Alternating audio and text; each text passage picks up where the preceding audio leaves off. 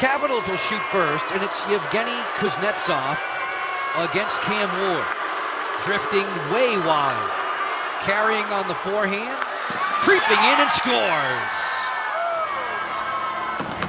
Thought we were going to run out of time there for a minute.